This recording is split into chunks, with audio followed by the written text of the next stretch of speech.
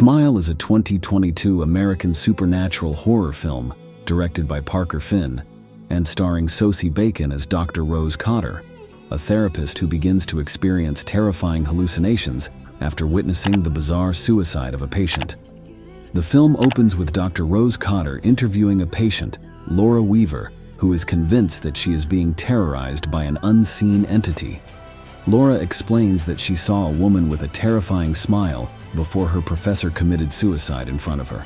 Rose is skeptical at first, but she begins to experience her own hallucinations after Laura jumps to her death in the hospital room. Rose sees a woman with a wide, malevolent smile following her everywhere she goes. Rose tries to find a rational explanation for her hallucinations, but she is unable to do so. She begins to lose her grip on reality and her life spirals out of control. Rose turns to her ex-boyfriend, Joel, Kyle Gallner, a police detective, for help. Joel is initially reluctant to believe Rose, but he eventually agrees to help her investigate the mysterious entity that is terrorizing her. Rose and Joel discover that the entity has a long history of tormenting people. They also learn that the only way to stop the entity is to pass it on to someone else. Rose is determined to break the cycle and stop the entity from harming anyone else.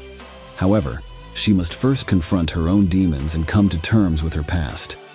Smile explores a number of themes, including trauma. Rose is haunted by the trauma of her mother's suicide. The entity that is terrorizing her exploits her trauma and makes her relive her worst nightmares. Mental health.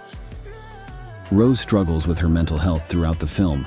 She experiences hallucinations, delusions, and paranoia. The film shows the challenges of living with mental illness and the importance of seeking help. Forgiveness. Rose must learn to forgive herself for her past mistakes in order to break the cycle of trauma and defeat the entity. Conclusion Smile is a well made and suspenseful horror film that explores a number of important themes.